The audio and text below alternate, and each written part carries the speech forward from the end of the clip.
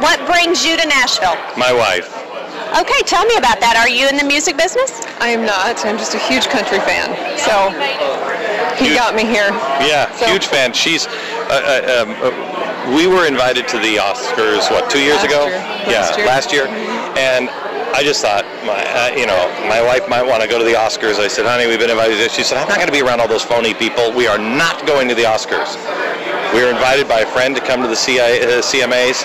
She said, I'm in. We're going. Okay, because we're not phony here in Nashville. We're, we're the real deal. I know. Yeah, I know. We both know.